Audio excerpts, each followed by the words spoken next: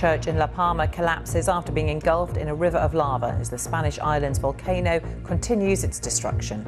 Now, the airport on La Palma has been reopened, but many flights remain cancelled because of the volcanic eruption on the Spanish island. Ash clouds and dust had made it impossible to operate flights from the airport, but a big cleanup operation carried out overnight allowed the runways to reopen.